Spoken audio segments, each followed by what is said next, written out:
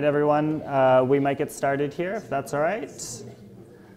Uh, welcome to Australian Catholic University, uh, and thank you to everyone for showing up tonight. We are delighted to have you, and um, I know you all are very excited to hear what uh, Professor Richard Ryan has to say tonight.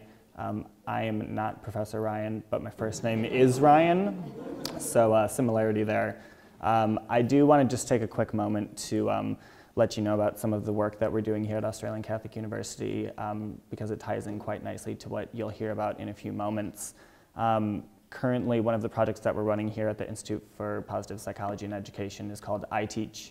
Um, and this project is focused on um, helping teachers better engage their students um, and hoping that that will um, allow for increased achievement in their students. Um, so just to tell you a bit uh, briefly about it, this project is occurring in two different phases.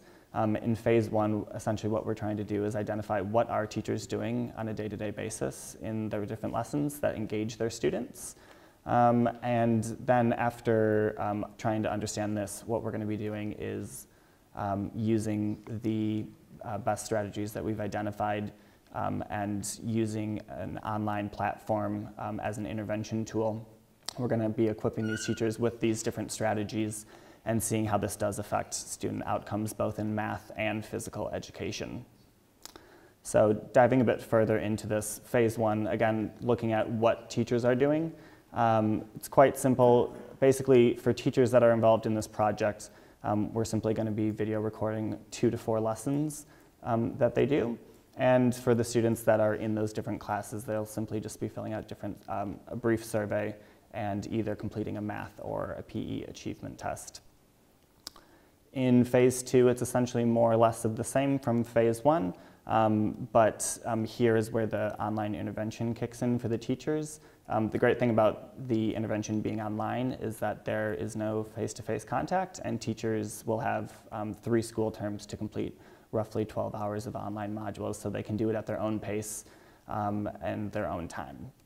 Um, what we hope to provide with this project is equipping teachers with simple strategies to better engage their students. And we hope that they'll be able to learn things that will help um, increase their teaching quality um, as well as their job satisfaction. And um, along with this project, if teachers are involved in the second phase, they will be um, provided with some uh, teacher professional learning um, hours, uh, about 12 um, for involvement in this project. So we like to think that participation in this project is easy. Um, for teachers, there's no collecting of forms and paperwork. Um, we, um, because it does occur in two phases, um, obviously we'd love for schools to be involved in both phases, but um, there's no obligation after phase one if schools want to opt out. as I mentioned before, teachers who do complete the intervention phase of this project will have NESA accreditation. And the best part is that the project is completely free, so there's no cost to the schools. Um, if you would like, that was just obviously a very brief introduction to the project. Um, we are hoping to start this project at the end of this year in late term three or early term four. Um, but if you do have any questions, I'll be hanging around after the presentation to answer any questions you may have. And if you received a folder while you're walking in, that will provide you with much more detailed information um, as to what is involved in the project. Um, but now for the main event. Um, tonight you all came here to hear from Professor Richard Ryan. Uh, Professor Ryan holds joint appointments both here at Australian Catholic University as well as the University of Rochester back in the United States. He is most well known as being the co-developer of self-determination theory, which is a theory that explores human motivation, personality development, and well-being. Professor Ryan has had an illustrious career in which he's published over 300 articles, uh, ch book chapters and books on the topic, um, and I imagine that that number is ever growing. Um, I did have a quick look um, at Google Scholar today. Professor Ryan's work has been cited over 200,000 times. And just to put that into perspective, uh, you could take the number of citations my work has gotten in the last two years, multiply that by 10,000, and Professor Ryan would still have more citations than myself. Um, so with that, I would like to introduce you all to Professor Richard Ryan and his presentation, Facilitating Learning and Wellness in Schools, Research and Practice Applying Self-Determination Theory.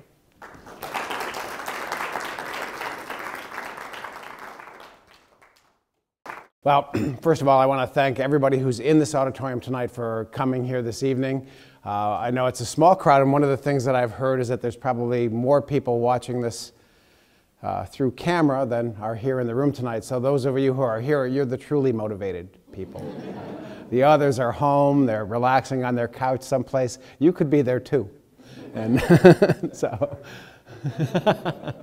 um, so uh, before I begin, I just want to say that. Uh, and, and I always want to say this anytime I'm giving a talk and I'm talking about res research or practice or interventions that we've done in self determination theory, it's usually not my work that I'm talking about. It's usually the work that I've done with other collaborators or other people around the world. And um, I have a lot of gratitude to the community of people in self determination theory. We're uh, quite a community now, thousands of researchers around the world. Uh, last conference, we had people from more than 40 countries come to the Self Determination Theory Conference. So it's gotten to be a kind of global research community.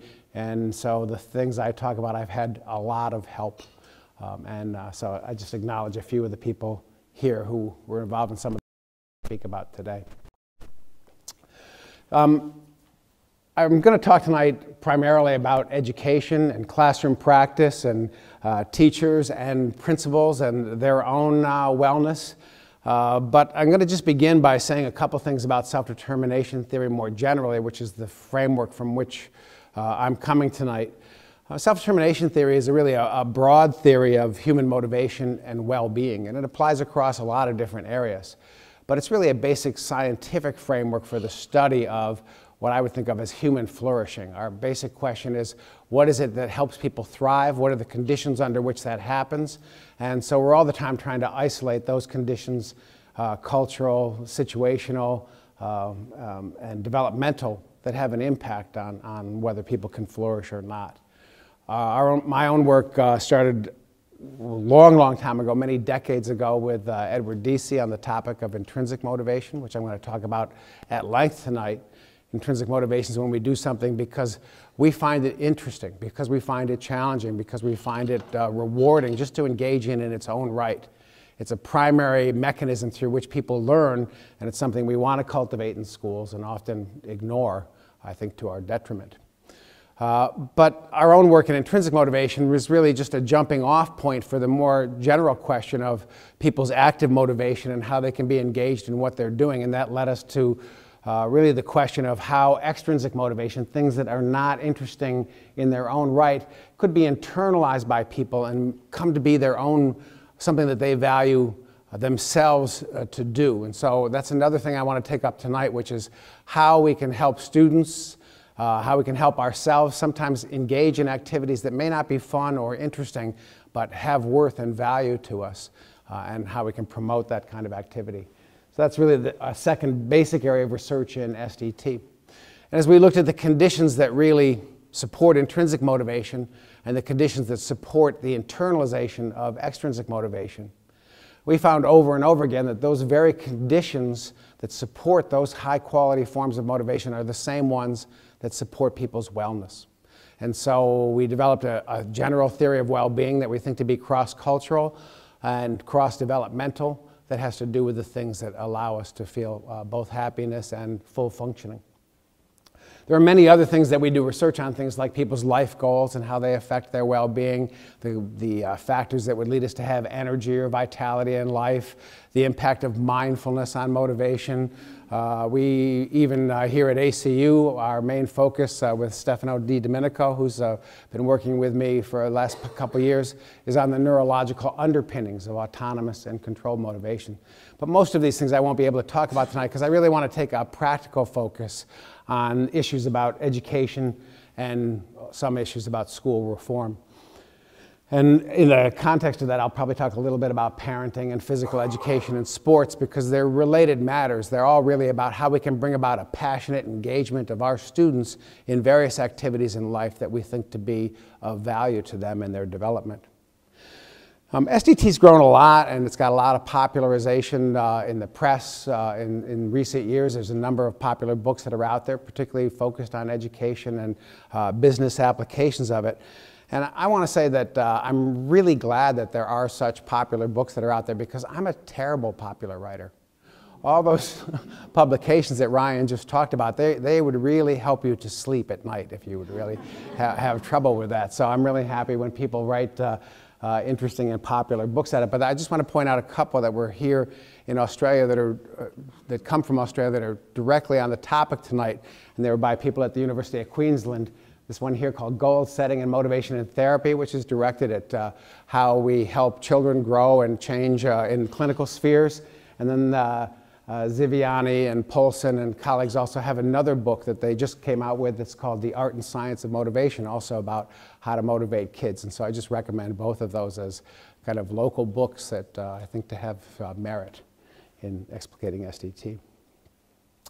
So let me get to our topic at hand. And just before I do that, let me say that my, my plan tonight is I don't really have a plan.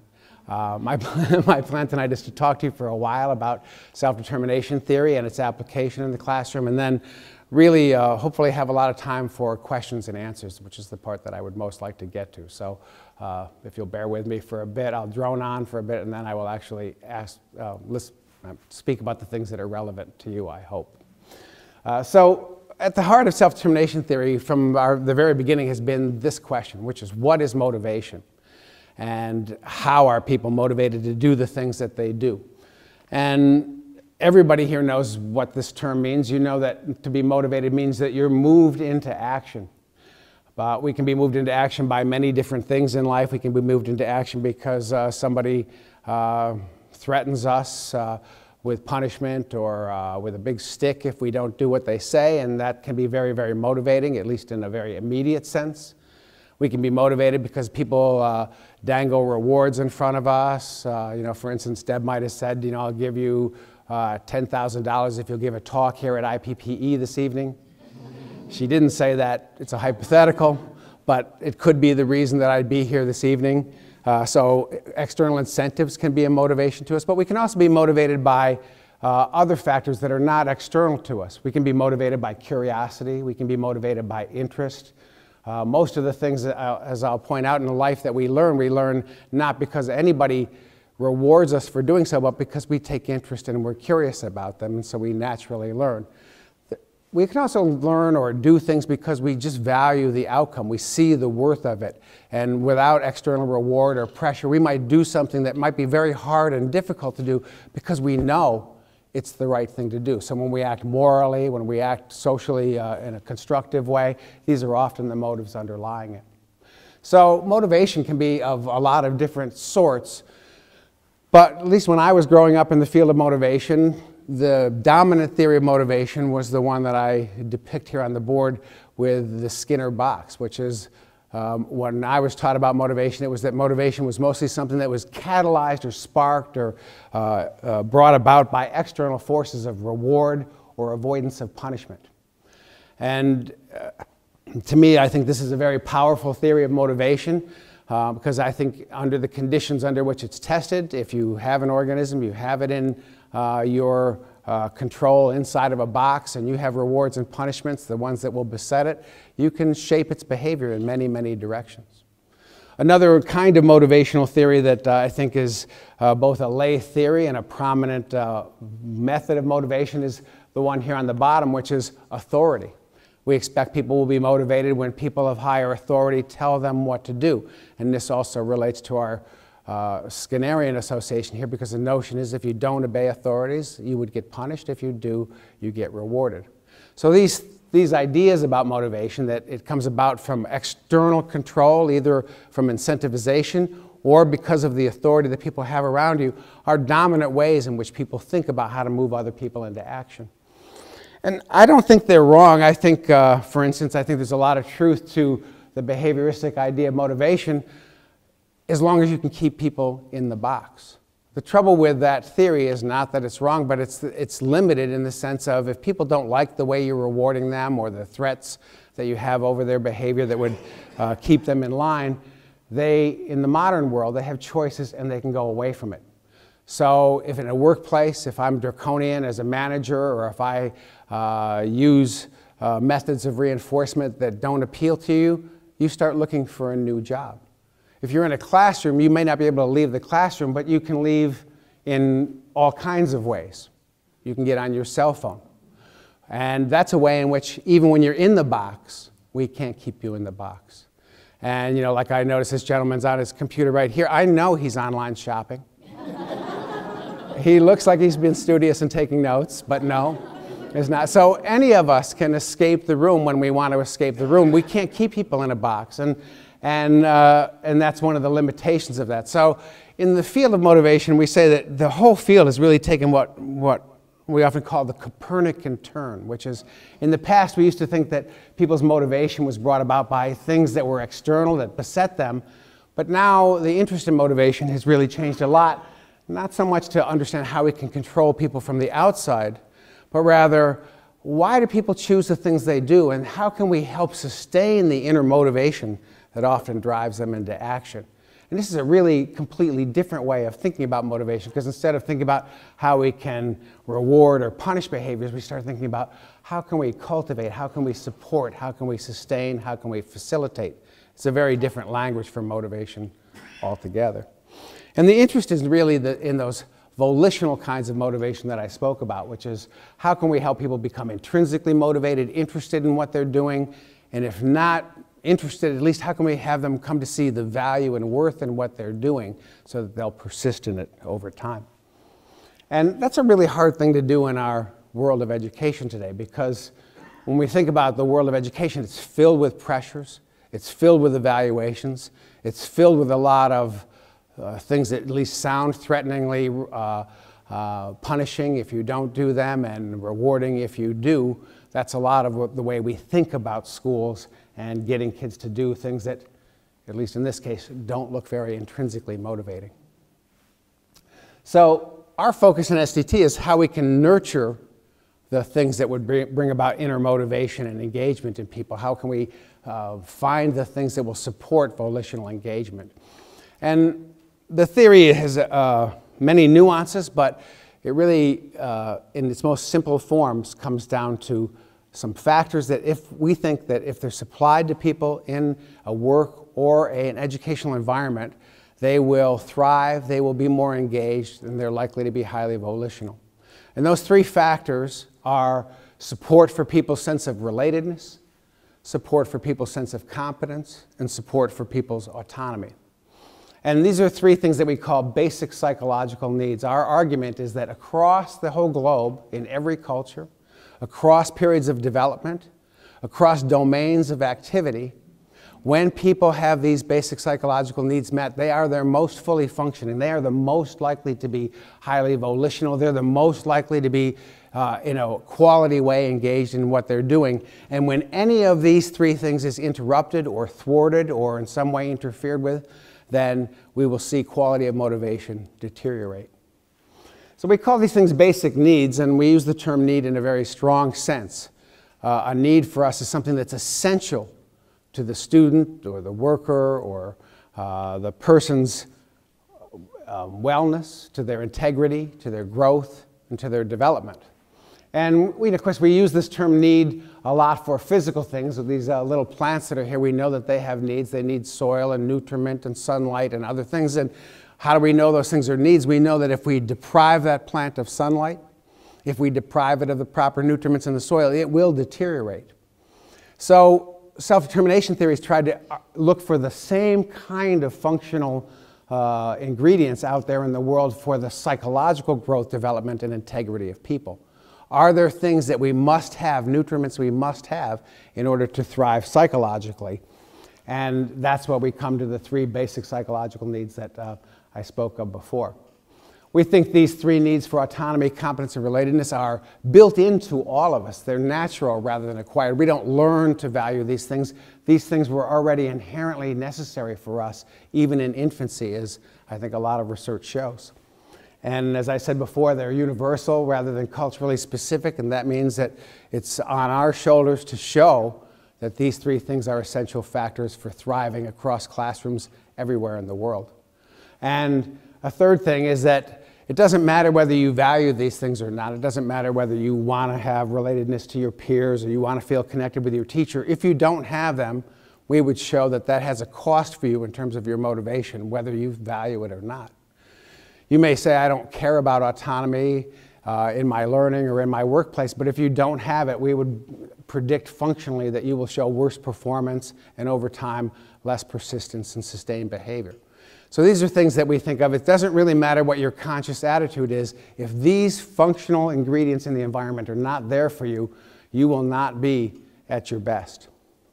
Now, the three things that we talk about as basic needs are uh, these. There are competence, which is the most widely cited thing in all motivation theories. There's no motivation theory out there, self-efficacy theory, behavioristic theories, at least modern ones, uh, that don't argue that competence is important to motivation. If you don't think you can do something, you're unlikely to do it. So I'll spend the least time on this because it's the least controversial basic need. But we do argue that uh, you won't be well and you won't be motivated unless you have some sense of effectiveness in the context in which you're acting. A second need is the need for relatedness, and uh, this I will spend more time on tonight because uh, we find over and over again that a student or a worker is not going to show their highest quality motivation or wellness unless they can feel connected uh, with the other people in their environment and cared about and significant. They have to feel like they matter in a classroom setting or in a work setting in order to feel that kind of energy or excitement that would have them be motivated. And the third need is the one I'll speak about the most tonight, which is the need for autonomy. It's also the most often thwarted or frustrated need in most school and work environments. And for us, the term autonomy means that the things that you're doing are things that you are doing willingly or doing volitionally. I say self endorse here because when you do something autonomously, you say, yeah, that's something I endorse doing. It's something I either see the value in or I understand the interest uh, in doing it, and that is what allows you to do it with congruence and authenticity. The opposite of autonomy is heteronomy. It's when you feel like something's pushed on you or that you're being controlled into doing something. Uh, it's when your boss makes you do something that you don't feel a sense of autonomy, or your teacher makes you do, you, they put something that you have to do, and you don't understand the reasons for that, you don't have the interest in it, and when that's the circumstance, you're likely to feel heteronomous. The opposite of autonomy is not independence. So, this is a thing with which autonomy is often confused. So, in our work, we say independence is when you do something without relying on other people for help or for support. But you can be autonomously dependent. If I turn to a teacher that I have, and if I don't really understand something, and I go to her or him and I say, Could you help me with this? In that case, I'm often being autonomously or willingly dependent. I want the help or the guidance from somebody else. But I could also be autonomously independent if I turn to my teacher or uh, mentor and say, you know, I want to try this one on my own. In that case, I would be autonomously independent. So we can imagine cases where you're forced into dependence, where somebody says, no, you must follow my guidance or you must uh, listen to the way I would go about doing this, so you're, you're heteronomously dependent. You could be heteronomously independent when somebody forces you to do it on your own when really you would like help, and you can have the opposite configuration too. Similarly, you can be autonomously interdependent. If I'm a collectivist person and I really believe in interdependence or I believe in the value of the group, uh, over and above uh, my own benefit, then in those cases I would be autonomously collectivistic or autonomously interdependent. So if I really value collectivism, it's congruent for me, then I'm willingly and volitionally engaged in collectivistic activities. But I could also be forced into collectivism. Um, Ed Deci and I did a lot of work in Bulgaria back in the 80s and early 90s. And back then, there were a lot of people in a collectivistic culture who were forced into the arrangements that were there. But we can find many collectivistic cultures today where people are willingly engaged in collectivistic thoughts. And so you see here how autonomy is not either Western or Eastern or collectivistic or individualistic. It depends on whether you're endorsing the things that, uh, that you have to do within your cultural uh, realm. Autonomy also doesn't mean that there's no authority around you and there's no demands that are put on you. So if I'm uh, uh, working for somebody else and there are some demands that go on and say, these are the things we need to do this week, I could autonomously assent to doing those things if I believe in the legitimacy of the demands or the legitimacy of the leadership that's asking me to do those things. On the other hand, I could be demanded of some things, but if I don't see the things that are being demanded of me as legitimate, I don't understand the reasons behind them, or I don't see the authority as legitimate, I, even in obeying, then I won't be doing it autonomously. I'll be doing it in an alienated, heteronomous manner. So again, the issue is not whether there's a pressure from the outside, it's whether I concur with the pressure and assent to acting in accord with it, or I decide that I'm just being made to do something I don't value. And finally, I just want to separate autonomy from one other term it's often confused with, which is the idea of freedom. Freedom in self determination theory is defined as the removal of all constraints. But we know if we remove constraints, we often don't get any organized behavior. If we remove all constraints in a classroom, we might have what's here on this top line. That doesn't guarantee that anybody will be acting with autonomy. Autonomy also requires that we supply a ground for people to do things that they can come to value or find interested. Removing constraints doesn't do either of those things. So a big part of cultivating or creating autonomy in a work or a, a classroom setting is creating the circumstance under which people can find a reason to do something that is within a pretty strong structure, and it's typically not freedom.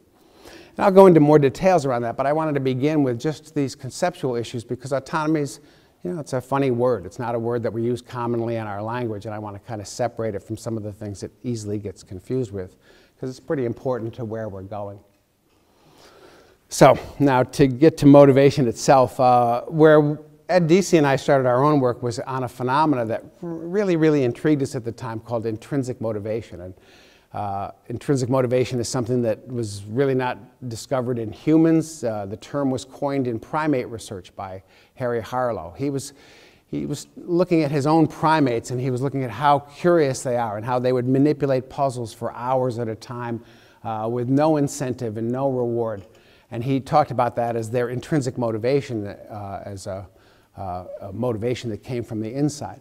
And he started to give them rewards for doing this curious or manipulatory behavior in the laboratory. And he found that when he did that, his primates stopped working, stopped exploring, stopped manipulating unless they were being given rewards for doing so.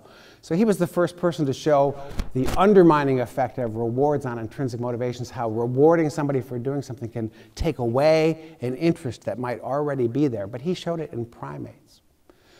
We thought this, is, this exploratory, curious nature of primates is really important to human learning and development. When we look at humans, we see we're curious animals. We look around the world, we manipulate things, even from uh, the beginning of our lives. We're reaching out to the environment, playing with mobiles, manipulating objects, putting them in our mouths. We're, not anymore, I'm not doing that, but uh, that we do that stuff because we're, we are trying to assimilate the world around us. And again, we do this without incentive and without external reward. We do it because it's our very nature to try and make more sense of the universe and comprehend things around us. So intrinsic motivation is when you do something just because it's fun and interesting to do, and exploration is one of those things. Maybe the best prototype of this is children's play. When children are playing, they're very, very active. They're engaged with their environment. They're often learning things, but they're not doing it for any external incentive. They're doing it simply because it's fun itself. And just to use an example of it, if I uh, if we take this kid who's up in the corner playing in the sandbox, he's learning about uh, spatial relations. He's learning about uh, the properties of sand. He's learning probably about the social environment around him if there are other kids there. But he doesn't need us to prompt him to do this. He's learning because he's finding it fun to do. And if we go up to him and we say to him, I'll give you $5 to play in the sandbox, he probably will like getting the $5, but this may not encourage him to play in the sandbox longer. In fact, he may stop until he sees more money forthcoming. So children's play is a prototype of this, but, but it's not just children's play that we're intrinsically motivated. Across the lifespan, we're learning, we're playing sports, we're engaged in activities all the time because uh, we just find it interesting itself.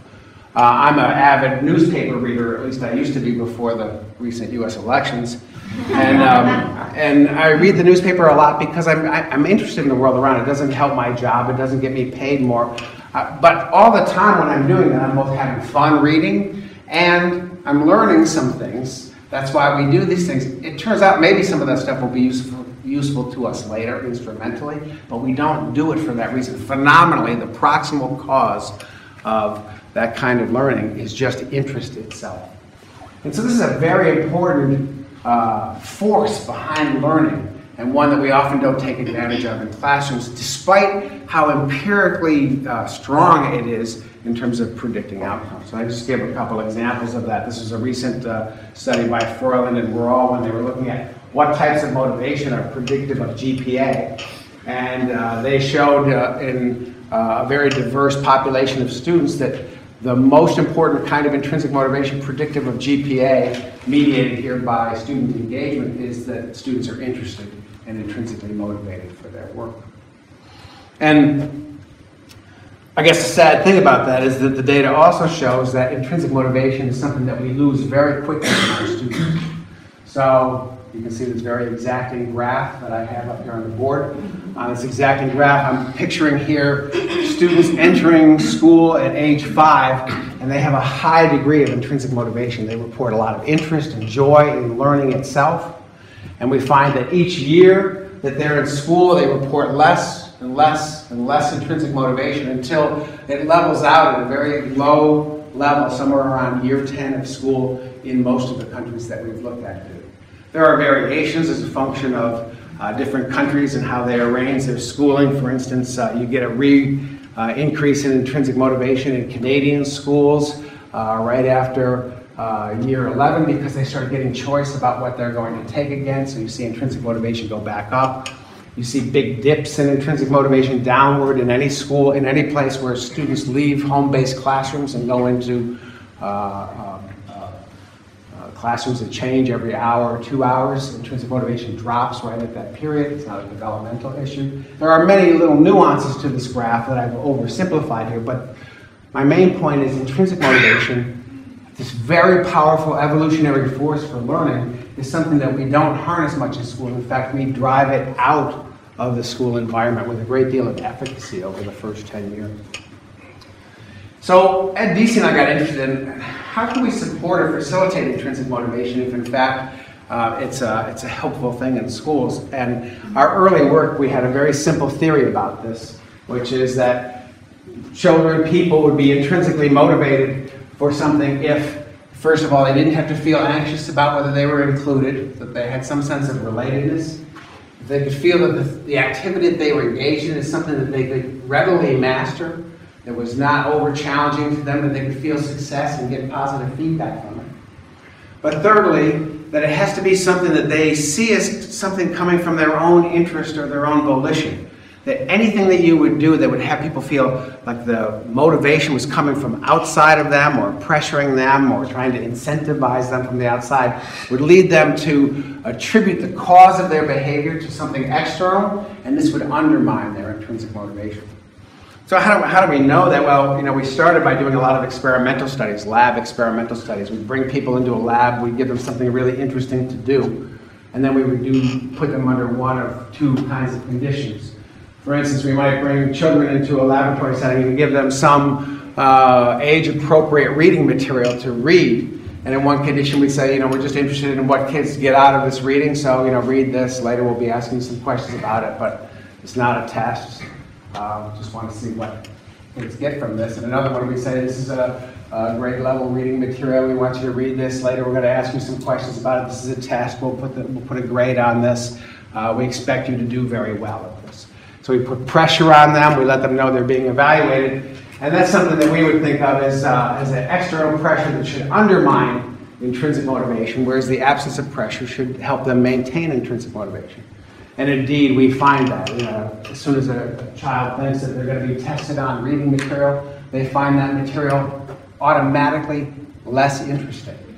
They're less likely to go on and want to read more of it after they finish the test, and that includes when they get very high grades on the test.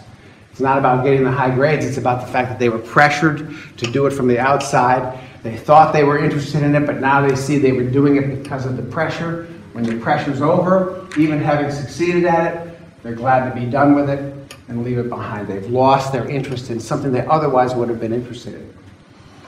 Similarly, we can bring people into a laboratory setting and give them a really interesting puzzle or a task to do a problem to solve. And we can uh, tell them, you know, uh, go about doing this as, as best you can, develop your own strategies. You can choose how to go about doing this.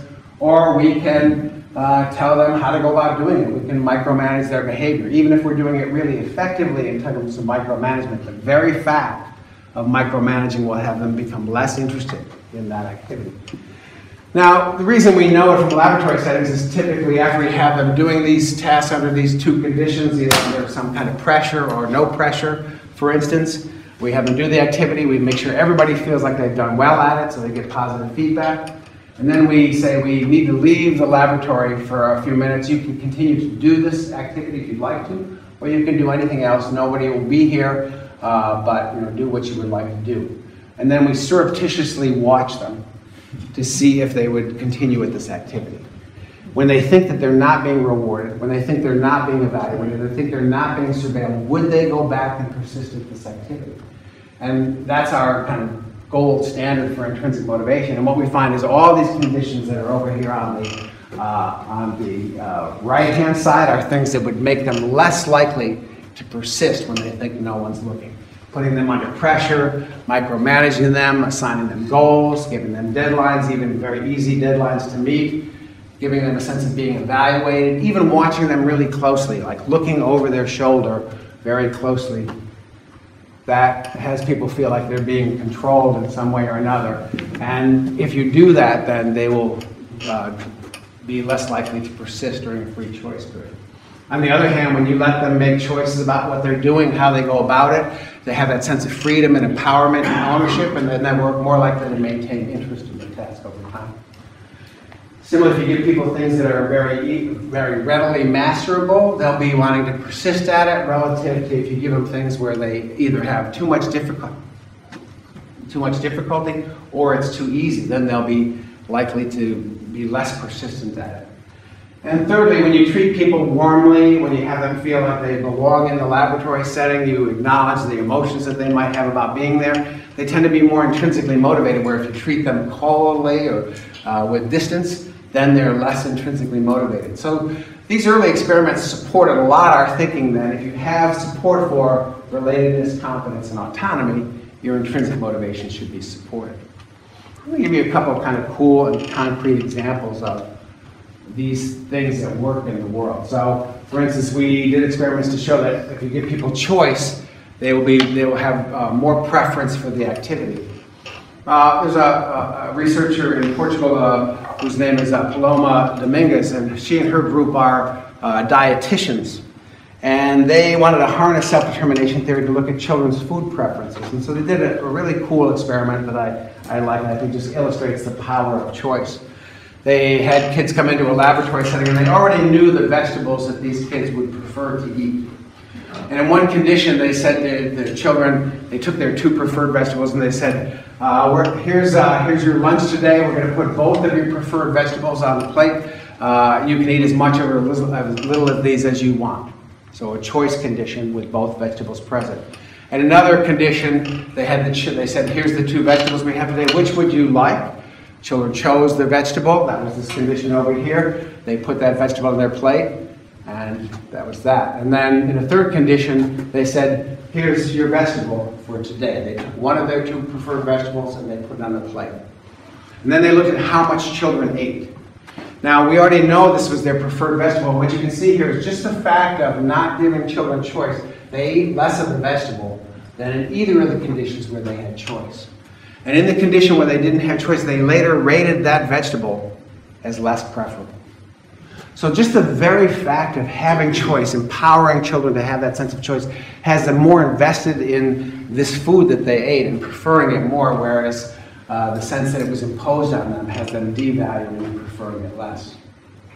Some of our early experiments that were maybe most controversial were showing that you can reward somebody for doing something, something we typically think of as a positive motivator, and this would actually detract from intrinsic motivation kind of as I spoke about with Harry Harlow and his primates. So, um, our, our, theory about that is that there are certain kinds of rewards when we use them in a, in a, way to control other people's behavior that they will undermine because people will have a sense of not doing an activity autonomously, even though they like being rewarded. So, if I give you a reward for doing something, I say, if you do this, I will give you this you may like getting the reward that I give. You might even be willing to do it for the reward. But what you have now experienced is I'm the one who's in charge of your behavior. I'm the one who's controlling what you do. Um, on the other hand, uh, there are ways you can give rewards that don't have that controlling mechanism, but we think whenever it has that controlling sense to it, it will undermine intrinsic motivation. Very controversial phenomenon for behaviorists who often thought, well, rewards should always increase the base rate of a motivation and shouldn't uh, take it down. So we've done a lot of experiments on this, and this thing that's up on the board here, again, I'll put up a lot of data tonight and pay no attention to it if you don't want to. I have it there so I can remember what to say, but uh, in this, this is a meta-analysis that we did in uh, 1999. It's published in Psych Bulletin, which kind of reviews all of the experiments that have been done on rewards and intrinsic motivation. And up at the top of it is when you average across all the experiments, and you see that there's a weak negative effect. Rewards generally, when you give them for something that people have interest in, makes them less interested in it and less persistent. But all rewards means some of those rewards are things we would call controlling rewards and some are not. So if you go down this list a little you split all rewards into two types, verbal rewards and tangible rewards, tangible rewards are undermining. If I say, I'll give you this uh, prize for doing something, that's going to be a tangible reward. That will undermine your motivation. But a verbal reward is when you praise somebody, you say, I, you know, you did a great job at that. And you can see there that that enhances rather than detracts from motivation. Why? Because when you praise people, it tends to make them feel more confident. And self-determination theory says increased feelings of confidence will increase your intrinsic motivation.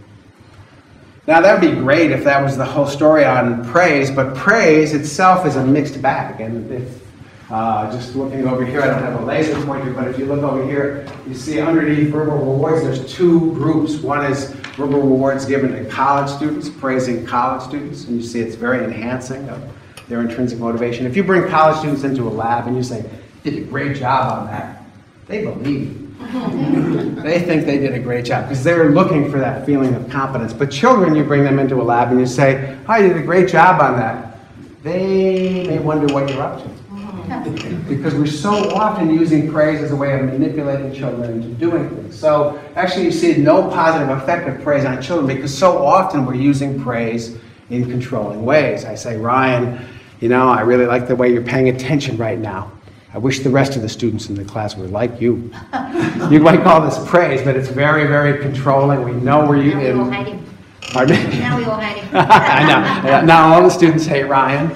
Um, that's one of the drawbacks of this, but mainly it's because it has that controlling feel. It will undermine rather than support intrinsic motivation.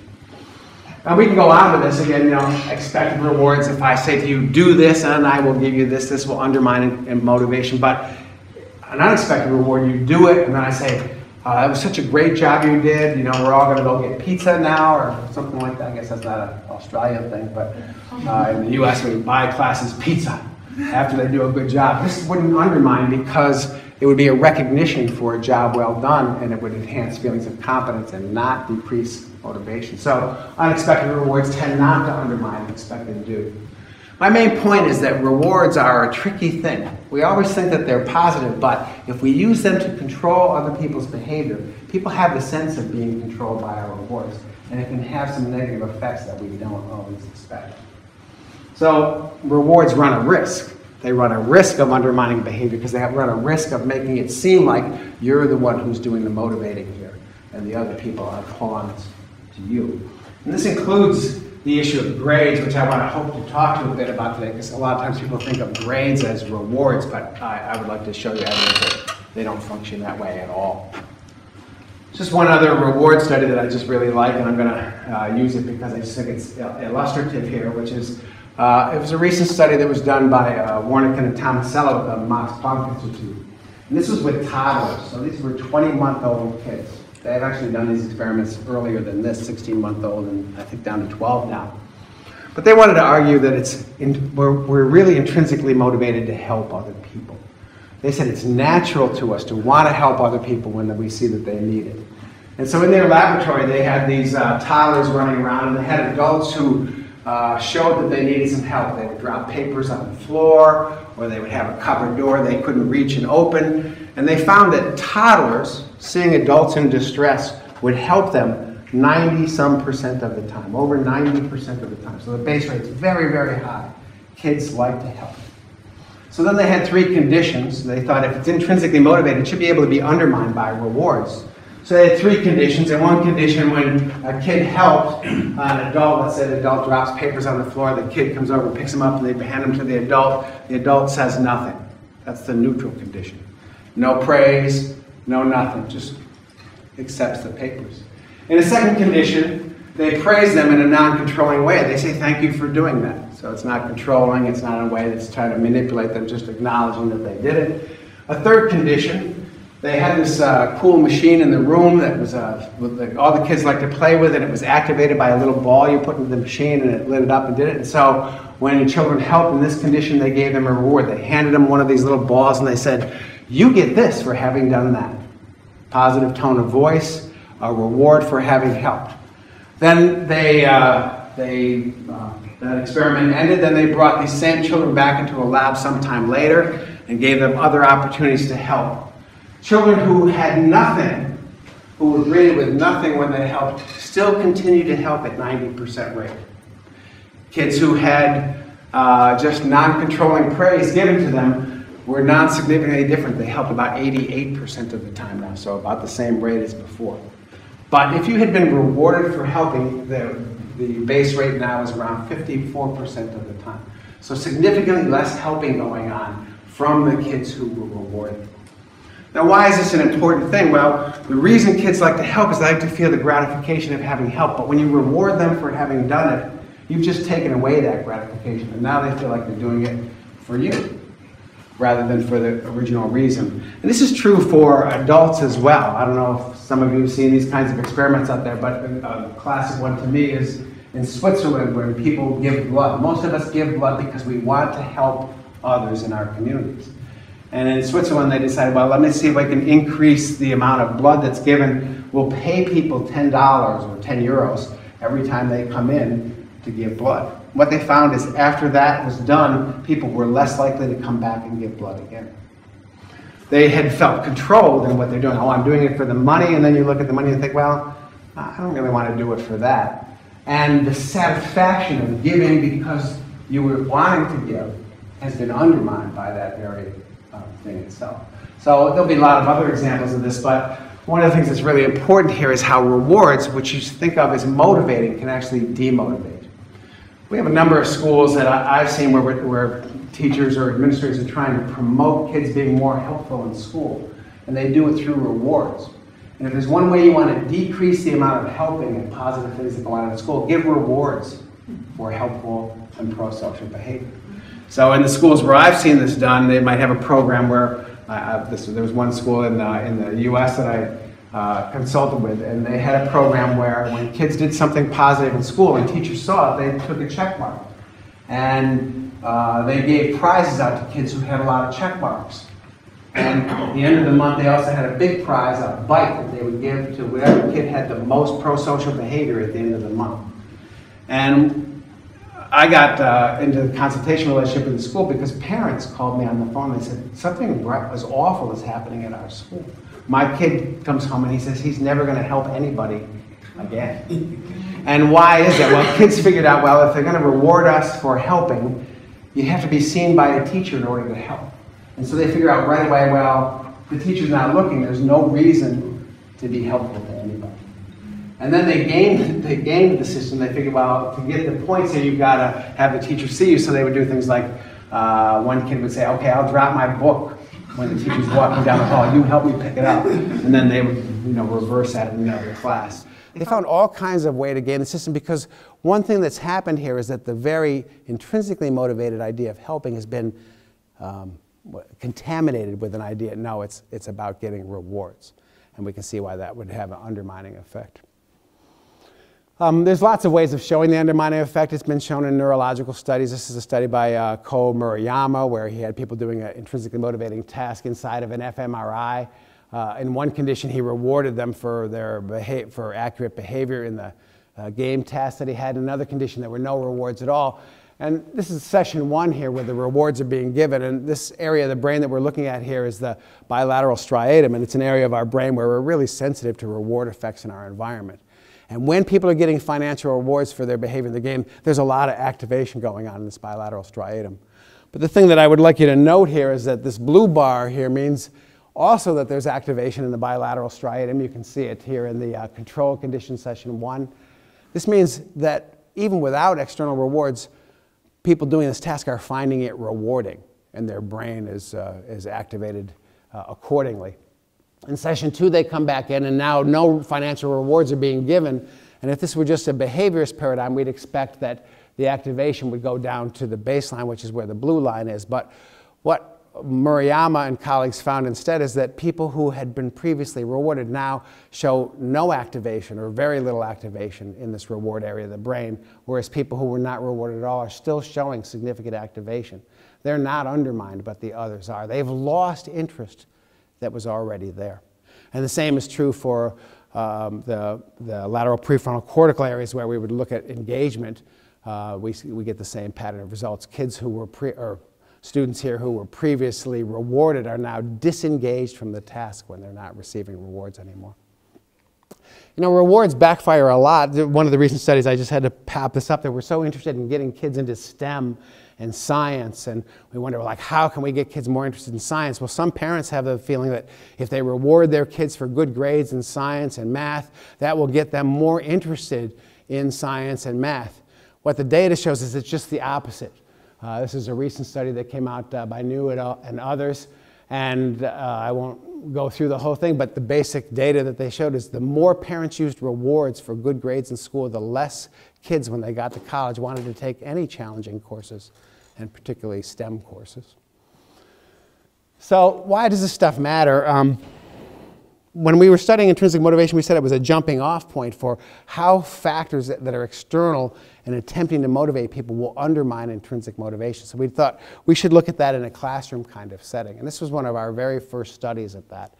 And this was a study of all fourth, fifth, and sixth graders in a particular school district in uh, our, our home city of Rochester.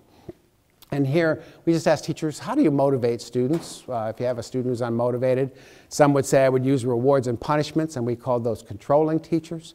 They'd say I'd keep the kid in from recess, or I would use gold stars, etc.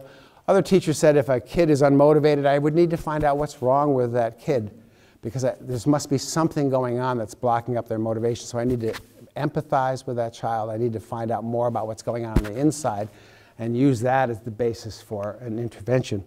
And we call those teachers autonomy supportive. Now, none of these teachers, when we interviewed them, had seen any of the students in their classroom. So this is the data from five weeks into the school year. So if you were uh, a student in a classroom, a fifth grader in a classroom of a more controlling teacher, five weeks into the school year, you were already uh, likely to be less curious about what was going on in school, more likely to not want to take initiative until you were told what to do, and you wanted easier rather than more difficult problems in class. And what was really striking to me as an early investigator, and this is five weeks into the school year, if you had a more controlling teacher, you thought of yourself as less good at school and you had lower self esteem. So teachers were having an impact on students in very short order. Well, we could think this is a thing about students, but at the same time, we were doing that study with uh, teachers, we were doing a study with, uh, we were doing a consultation with a Fortune 500 company about their managers. So we used the same interview that we were using with teachers. Instead of saying you have a student in your classroom who's unmotivated, we'd say you have an employee who has been unmotivated lately, what would you do with them? And we classified managers in the same way. And we found in this Fortune 500 companies, if you had a more controlling manager, you were less satisfied with your supervision, you felt less empowerment, uh, you trusted the corporation less, your job satisfaction was lower, and if you had a controlling manager, you were dissatisfied with your current level of pay and benefits. On the other hand, if you had a more autonomy supportive manager, you were okay with your current level of pay and benefits because you were finding satisfaction in your work.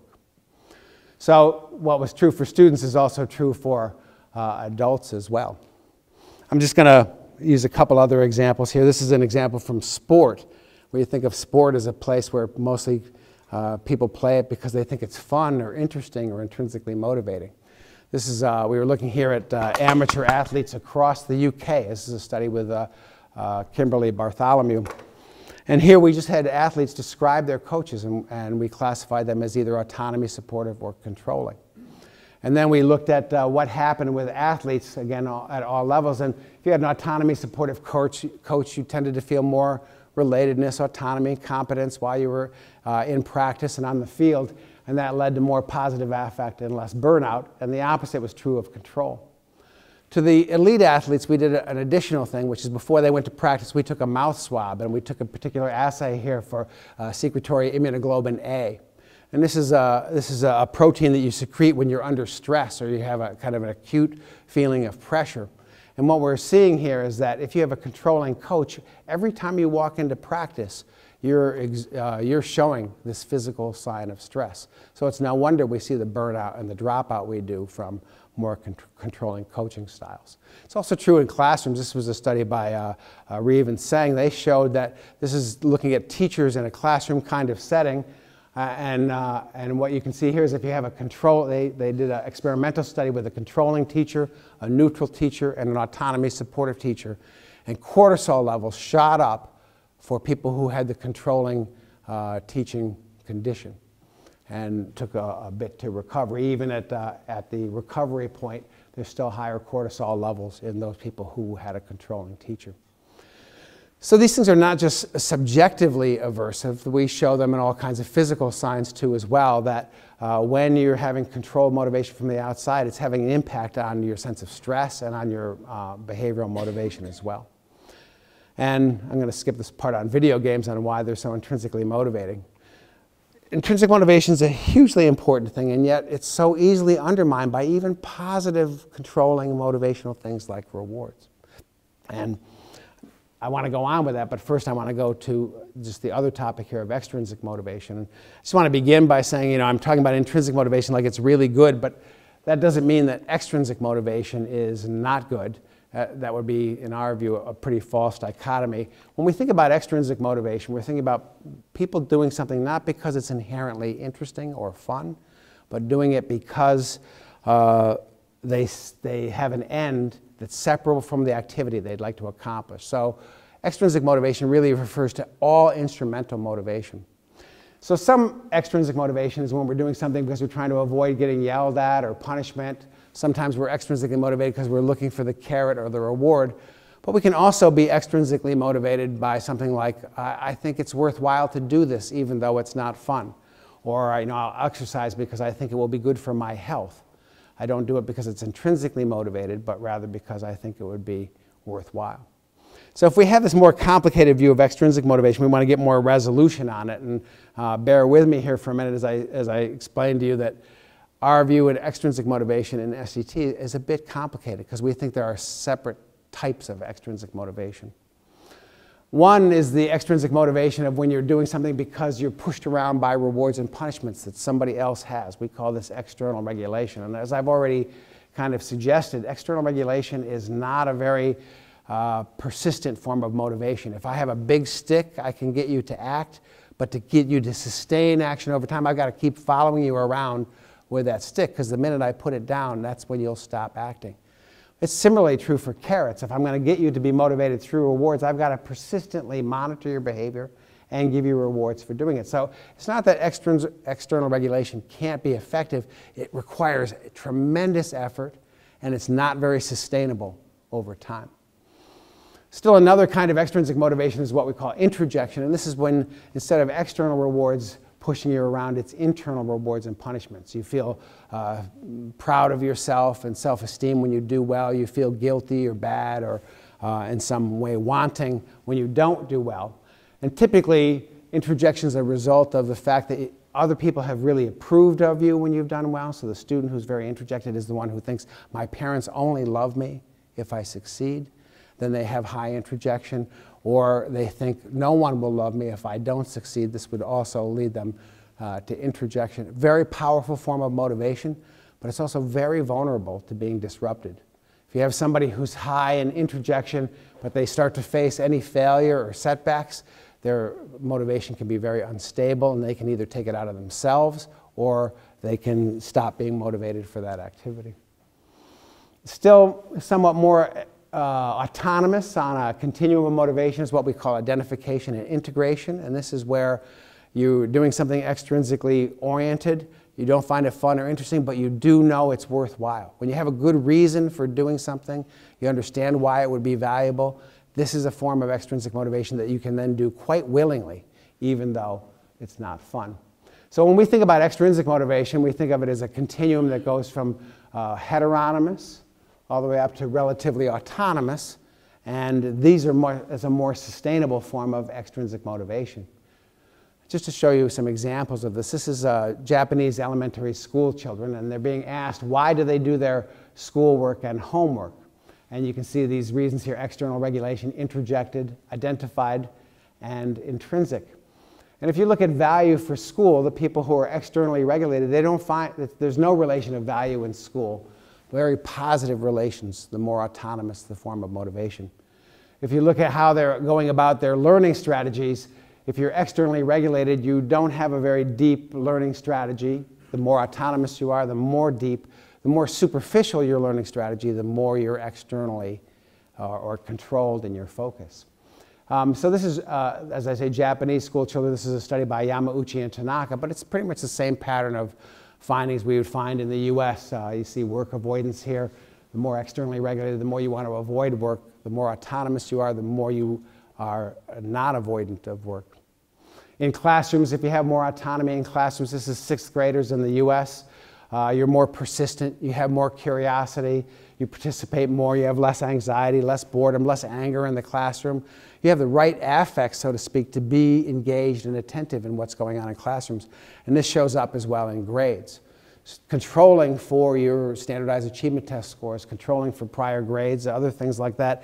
We find that in classrooms where students are more autonomously motivated, they get better performance uh, relative to their own capabilities. This is a, a more recent study on, uh, just from a different kind of education. This is music education. This is a study that was done by Paul Evans and uh, Bonneville-Roussy. And they were looking at uh, relatively elite musicians in New Zealand and in Australia here, people who were in uh, conservatories. And they were looking at their practice patterns here. And you can see that the more autonomously motivated the music student is, the more they want hard things to practice when they're going into the practice. The more frequently they practice, the longer their practice, and the more they rate their practice as of high quality. And they're likely to have this autonomy of motivation when they experience uh, their uh, music school as supporting their basic psychological needs. So autonomous motivation produces a lot of cool things. It's a good thing, helps us be engaged. Uh, it's associated with deeper learning associated with more vitality and energy in classrooms, and I didn't get into this, but it's also better classroom relationships. Kids who have more autonomy in school are less likely to be involved in bullying or difficulties or struggles in their classroom. So we're always trying to think of ways in uh, SDT that we can get people up at this end of a continuum of autonomy and away from this end of a continuum of autonomy in a classroom. And so how do we do that? We go back to our basic theory here, which is we say, if we want people to be really internalized and autonomous or volitional in what they're doing, we need to support their basic psychological needs. So in classrooms, where there's support for relatedness, competence, and autonomy, we will find kids being a lot more motivated. So what does that look like?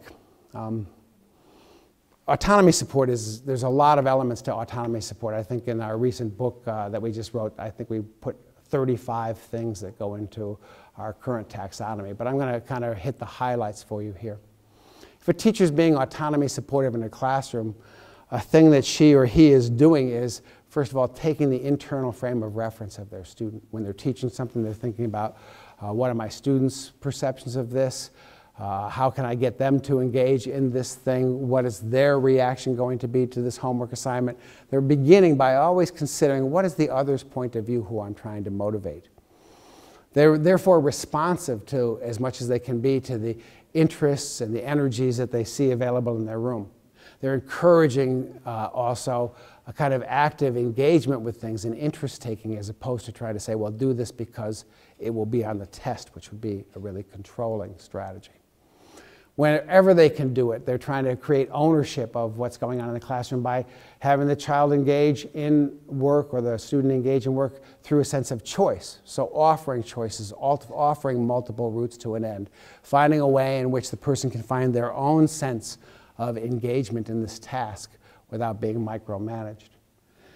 A lot of things that we're doing in classrooms aren't interesting and aren't fun, and if you're going to do something that's not fun or not interesting, and this is not just whether you're a student, it's whether you're anybody, you want to have a reason for doing it. So if I'm going to ask somebody to do something that's onerous or difficult, I want to give them a rationale as to why that might be worthwhile. Now, I can't tell you enough of how studies of classroom motivation, this is a big deal.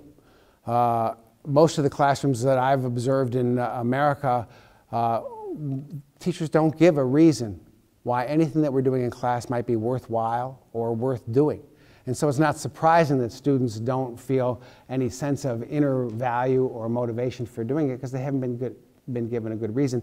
This would also be true of all of us. If your supervisor or your boss comes to you and says, do this thing and doesn't tell you why it's important, the best you can do is do it obediently.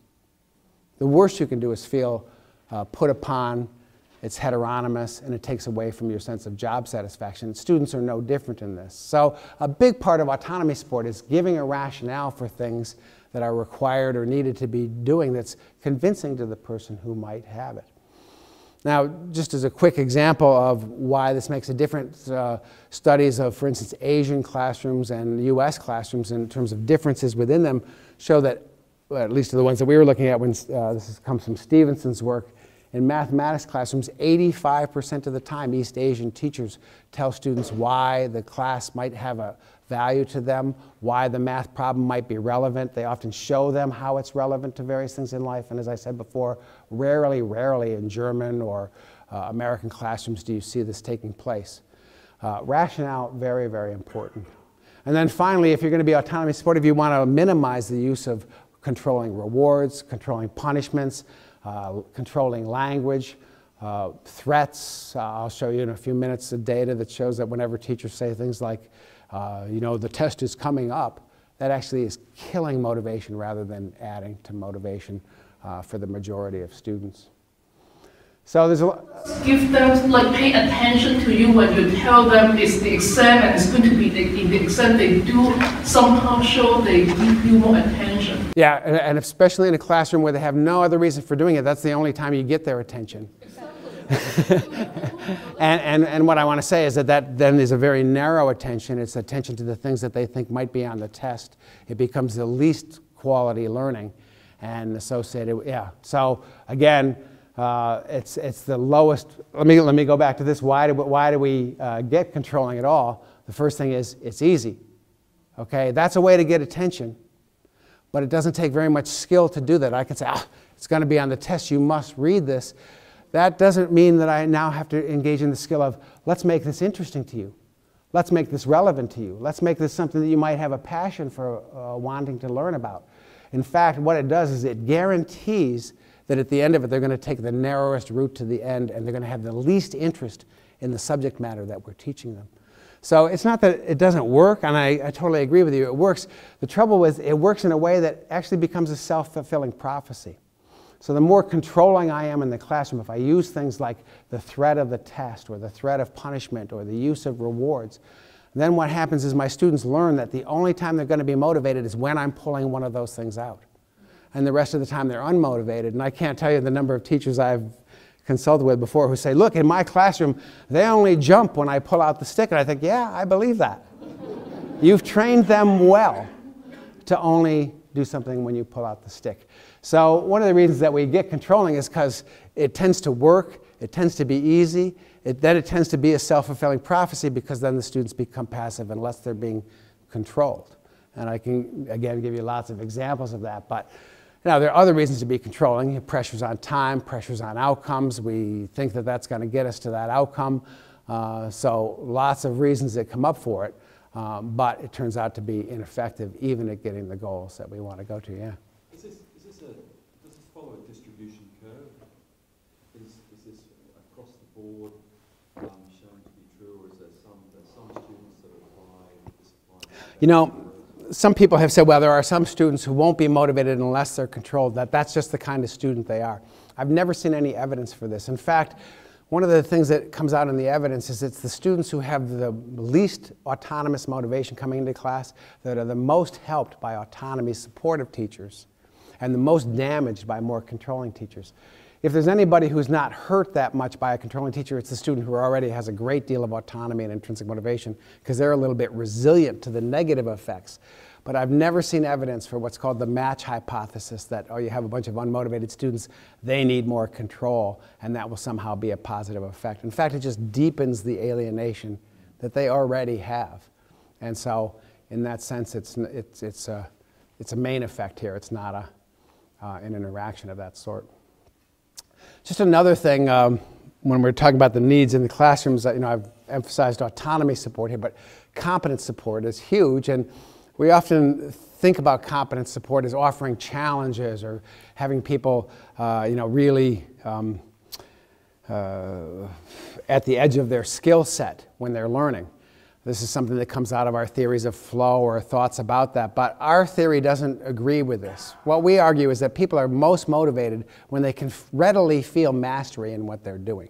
They don't want to feel over their heads. They want to feel most of the time they know what's going on in the classroom, they know where they're going, they know what their goals are, and they can reach them. So we think that uh, what you want to do is you want to be scaffolding educational experiences so that it's almost always relatively easy to succeed, straightforward to succeed, not hyper challenging. Hyper challenge, even when you succeed at a hyper challenge, you might even like it. You might even say, oh, that was a flow state for me, but then you're exhausted and you want to go home. So we don't agree with this part of the Csikszentmihalyi theory about what makes something intrinsically motivated. We think flow states are a moment in intrinsic motivation, but you're mostly intrinsically motivated when you have mastery. So this means create classroom environments for each child to be able to feel successful. And we know when we use the kind of normative strategies that we use that most of the time we're leaving a lot of kids out of uh, this equation. When people are getting feedback, the feedback uh, to be intrinsically motivating and to be autonomy supportive needs to be what we call informational.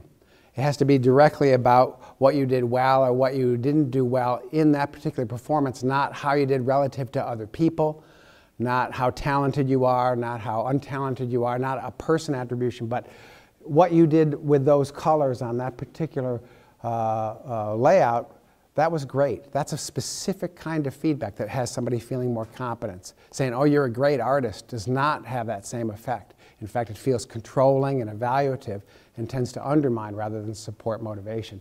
So we say when you're going to praise something, you focus specifically on accomplishments or efforts uh, not on person praise because it has more effectiveness in having people feel competence. one of the remarkable things is that grades are not informational feedback. Grades are controlling feedback. So what grades, if I put a grade on your exam, what it tells you is how you did, relative what it conveys to students is you did better or worse than the other students in the class. It doesn't tell you what you did well, what you didn't do well. And the evidence shows that it's largely demotivating to students, even when the grade is positive.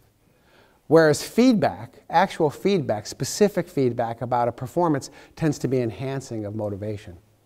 And when you put a grade on top of detailed feedback, it undoes the value of the positive feedback. Grades themselves have a controlling effect on people, and therefore, I don't think I have a slide up there on it, tend to have an undermining effect. So competence support and autonomy support go together. What most people want in a classroom or a work environment is they don't want just to be set free. They want to have somebody who respects their capacity for choice, gives them options, lets them have a sense of initiative, but also helps them gives them a structure so they know how they can succeed. I'll just give you an example of this. This was a study that was done by Maarten Vansteenkiste and others in Belgium, and he was looking at what classrooms produce the most autonomously motivated students. And he had teachers describe their classroom technique, and that broke down into uh, uh, four groups. There was a high structure group, very structured, letting students know what to do, but very low autonomy support. There was a low structure with a little bit of uh, autonomy, so freedom, but not much direction. There was a low structure and low autonomy. This is the kind of chaotic classroom structure. And then what we think of as the optimal classroom, a high degree of structure, a lot of scaffolding, a lot of clarity about the goals and a high support for autonomy. And if you look at the autonomy of the children in classrooms here, it's the highest when there's both high structure and high autonomy. We need structure in order to know uh, what to do next effectively. And we also want to be able to feel like we're uh, self-engaged in what we're doing. And the final thing in a classroom that is really, really important to internalize motivation is this third basic psychological need of relatedness. And it's one that we often forget is how important that is in motivation. So relatedness is when you convey respect for the individuals who are uh, in the work or classroom setting, uh, where the person can feel like they matter, they're significant. There's nothing worse than a student who feels like they're peripheralized, marginalized, or ignored in the classroom. They're, not gonna, they're going to feel that and they will become disengaged. And on the other hand, uh, one of the items that we use that's as a single item, one of the most predictive of motivation in a workplace or a classroom is the following item, which is my teacher likes me. Not I like my teacher. It's my teacher likes me. When I have a feeling that my teacher likes me, I'm much more likely to want to be engaged for him or for her in my classroom. I'm going to care more about their opinion. And my teacher likes me is not the hardest thing to produce in a child.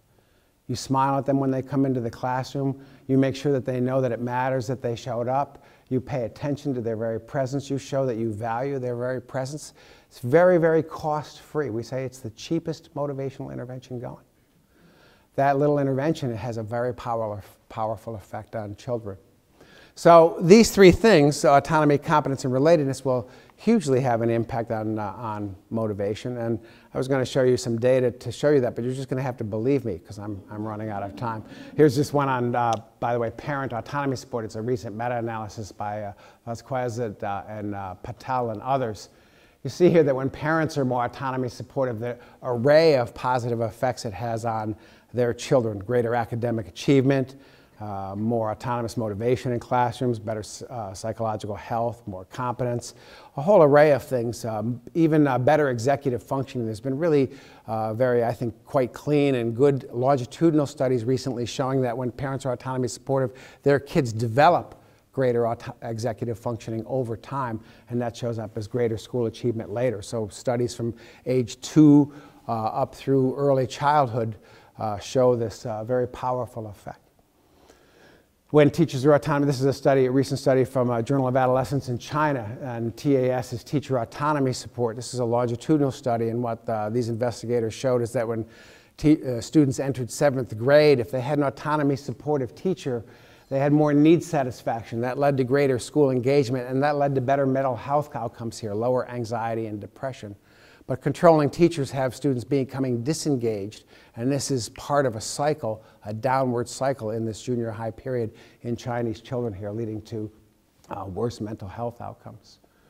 Uh, here's Norwegian schools, and this was a, a recent study by Yano and uh, uh, Diseth, and what they were showing is that autonomy supportive classrooms in Norwegian schools are associated with uh, students feeling more need satisfaction in the classroom, more perceived competence at what they're doing, and this led to greater relative autonomy. That's that little thing that says RAI here. They're further up on that continuum of autonomy, and that's associated with greater uh, school performance. So yeah, Louisa. Um, so we, so Finland, uh, they constantly ranked highest in uh, Finland. Finland. Yeah. Yeah. So the school, that their school is constantly uh, ranked high in uh, performance. Yeah. So do you think that the school, the Finnish um, school system encourages um, this kind of thing that you are talking about? I, I do actually. When you look at the uh, rankings of, of schools, there's a lot of uh, varied school systems that are on that list. So Finland often comes out on top. So does Singapore. We have stereotypes about these different things, but you know, having worked in Singapore for a while, they, they use a lot of autonomy supportive uh, techniques in their classroom. They're, they're working all the time to help train their teachers to be more autonomy supportive in the classroom, and that stuff has an impact. In Finland, too, I think there's a lot of autonomy support in classrooms. And it stands in contrast uh, to some other countries, and I'm going to pick on the United States here, where we have high stakes testing, which leads to a lot of controlling behaviors in classrooms. Whether teachers want to do it or not, they end up in a position of being pretty controlling because they're pressuring towards specific test outcomes. That leads to more student disengagement and sadly, I think has an impact ultimately on the very scores they obtain, a backfiring effect. Um, so I, I, do think these things have an effect on some of these outcomes and, um, uh, and I, I think the nations that do better on that have higher autonomy support. I'll show you a little bit of evidence just coming out of this next study. Uh, we did a recent study. This is led by Chris Niemiec at University of Rochester. And rather than do a kind of uh, questionnaire study about classrooms, he had students all over the world in 23 different countries write an essay about the most motivating teacher that they ever had. He had them write another essay about the most demotivating teacher they ever had. And they wrote a third essay about the latest teacher they had who was not one of the other two.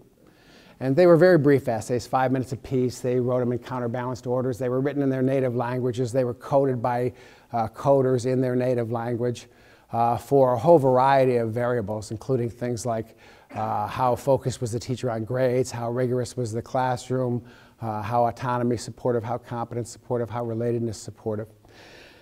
What was amazing is how similar the essays were from around the world. What was found in all 23 countries is that uh, a differentiation between motivating and demotivating teachers with autonomy and relatedness in particular. Support for autonomy and relatedness being the biggest factors predicting uh, the most motivating teachers they had and differentiating them from latest or um, uh, demotivating.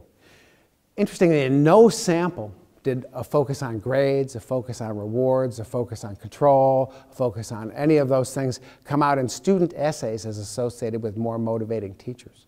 Yet these are all the things that are in a discourse of our public policy. We're always talking about rigor, we're always talking about uh, greater grading, uh, putting more content into classrooms. We're selling content all the time. But what students are saying, it's the process. It's a process in which I felt respected, in which I felt some ownership and some volition, and I felt connected. That was the place that I got excited to learn.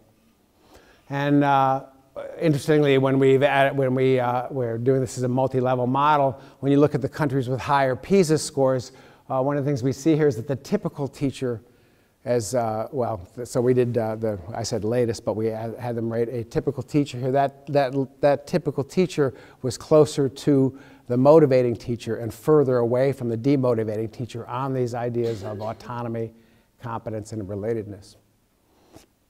So just a thing on grading, I wanted to say this before, which is we think of grades as a kind of reward or a kind of control or a kind of motivational system. And we think about it without any thought at all because there's never been any evidence any evidence that I've seen that grades play a positive motivational function in school. Now we think, of course, oh, a grade is like money, right? If, I, if you do really well, I give you a bunch. I give you the A, and if you do really poorly, I give you less. And if it, were, if it worked like that, then we would expect that kids who get poor grades would now be more motivated to go out and get more. But that's not what happens to them. They actually are more demotivated. They've gotten negative competence feedback. It's taken away from their sense of agency and motivation, and they're less likely to be engaged. And we don't see that kids who get good grades are necessarily more motivated to learn. They may be more motivated to get another A if they can get another A, but they're going to oh, retreat from any place where that might not be the function. So grades largely don't have a positive motivational effect. Now, this was done in a PE classroom, so it's not a typical classroom thing, uh, but uh, I, I just liked the study. It's a Krijgsman et al. Uh, recent study that they just came out with. And you see here that uh, when they had a PE class where grading was accomplished in class, that led to uh, grading was a negative effect on uh, autonomy, competence, and relatedness, need satisfactions, and it led to decreased intrinsic motivation and increased uh, uh, external low quality forms of motivation. And of course, on the opposite side of it, grading predicted more need frustration, frustration of autonomy, competence, relatedness. And you see here that that ends up as uh, uh, taking away from intrinsic motivation and adding to the sense that you're being pushed around or externally regulated. Uh, we, we take some kinds of things in, for granted as motivators in classrooms, uh, like grades, and yet we don't really think what is the functional significance of a grade to a student. And oftentimes it's not a positive motivational function as we think. The thing that is positive is the really direct feedback that we give students about their competencies. It's a sense of interest that we can give them. It's those kinds of things that are very concrete that will uh, add to their learning. Grades are largely gatekeeping functions. And I'm not saying we should never have gatekeeping functions. I'm not against uh, grading for certain kinds of things, but we confuse a lot the gatekeeping function of grading with the motivation function of grading. It's not a motivational device. It's largely a demotivational uh, device to be sorting students all the time on these normative uh, things. And worse yet, for, if it's not grades, think about fear or threats. It's going to be on the test. The test is coming up. This was what they, Putwain and uh, Remedios were looking at, what they called uh, fear appeals, uh, and they all had to do with this thing of the test is coming. The test is coming. By reminding students that the test is coming, that led students to be less self determined in their motivation, and it actually led to decreased scores on their math tests rather than increase scores. We think we're motivating them through the threat, but it's actually demotivating them. So, now, we, I just want to summarize this. Uh, when we think about the classroom environment, we're thinking about nurturing the internal motivation that students would otherwise already have, rather than trying to create a motivation from the outside with carrots and sticks. And when we do that, uh, we think that uh, students have a higher quality motivation. But they can't have that unless their teachers also have high quality motivation. So one of the things that we've been researching a lot in SDT is what's going on with teachers. And um, I have some pictures up here that uh, have to do with teachers. And here's my favorite one uh, over here. This is a uh, Korean picture with an automated teacher. Uh, it has all the content in there, so we don't really need an actual teacher in the room because all the right answers are in there. So one of the things that uh, research has shown, this is a study by Roth and others, but there's, there's other studies out there, which is when teachers are more autonomously motivated for their teaching. They tend to be more, uh, they tend to promote more autonomous motivation in their students. They are more autonomy supportive of their students and they're more competence supportive of their students. And, uh, and you can see this here in this uh, graph, which is that when uh, teachers have autonomous motivation for their own teaching, they tend to have students in their classroom who are more autonomous. But why aren't teachers always autonomous? Well, there's two reasons. They have what we call pressures from above and pressures from below. Pressures from below are they have students who are unmotivated in their classrooms, coming there obviously from some other classroom, uh, and they have pressures from above, standardized tests, uh, pressures from principals, controlling administrators, trying to say, these are the goals you must reach in your classroom. And teachers have these dual pressures, and both of those have a negative impact on their self-determination for work, which then shows up in their being less autonomy supportive in classrooms. This was a recent study by uh, Collie et al. of Canadian teachers. It was a relatively large sample of teachers, and they're asking them about their principal. How autonomy supportive is your principal of you in the school? And what you can see in uh, Collie et al.'s research is that uh, principals are more autonomy supportive. That spawns teachers feeling more autonomy, competence, and relatedness on their job which ends up to translate into more autonomous forms of motivation, less external regulation, and greater job satisfaction and organizational commitment. And this was a study that uh, actually is not under review anymore. Alex, I think I saw you in the room. This is with Alex Jung. And when did this come out, Alex? What? 2015. So this is a dated slide here, but we did this study in uh, Chinese public schools and looking again at uh, teachers' perceptions of the autonomy support of their uh, supervisors and principals. And you can see here that perceived autonomy support, again, predicting teachers being more autonomously motivated for their job and having higher job satisfaction and work stress and uh, fewer symptoms. So I, I, could go on with this, uh, teachers and, and, uh, and, and, and uh, in-service training. But what I want to say is teachers need the autonomy support of their principals, but then principals also have a need.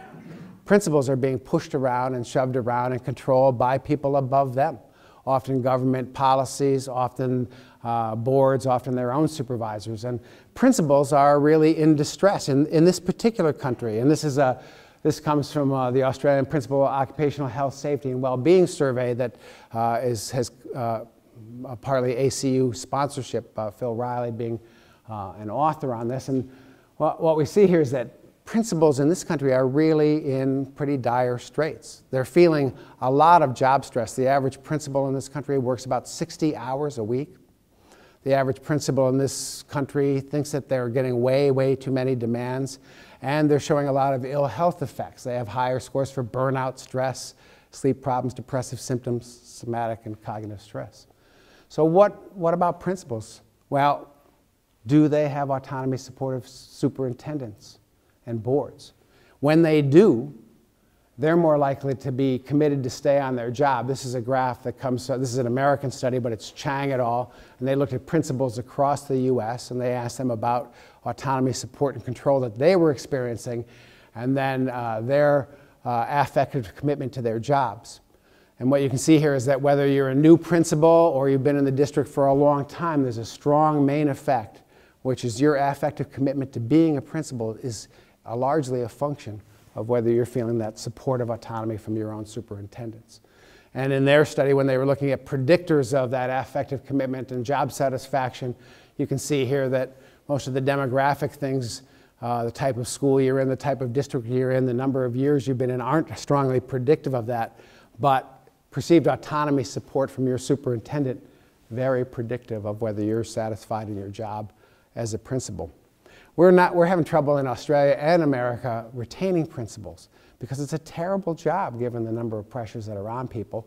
And of course, it's no wonder that principals then are often pressuring and controlling with their own teachers, and then it's no wondering that the teachers are controlling and pressuring to their own students. We see this as a rolling downhill issue, and this has to do with public policy. I could talk a bunch about public policy and why and where it goes wrong, but I'm not going to. I'm going to spare you on that so we can get to some questions and answers. But I will say this, which is uh, when we're coming from an SDT perspective, we're really thinking about the classroom environment as a place not for shoving learning down students' throats, not for a factory of outcomes where we know what's uh, the best thing all students should learn, but rather a place where we ought to be nurturing the very inner motivations that drive us to learn, to integrate, to want to assimilate, to want to take things in. And that means providing conditions that support that sense of inclusion and relatedness, that support that feeling that I can master what's being put in front of me. And thirdly, that I understand why the stuff that I'm doing might matter and also where it's possible to be interested in it. That means supporting autonomy, competence, and relatedness. And that's what we're trying to do in classrooms. And I thank you for listening to that.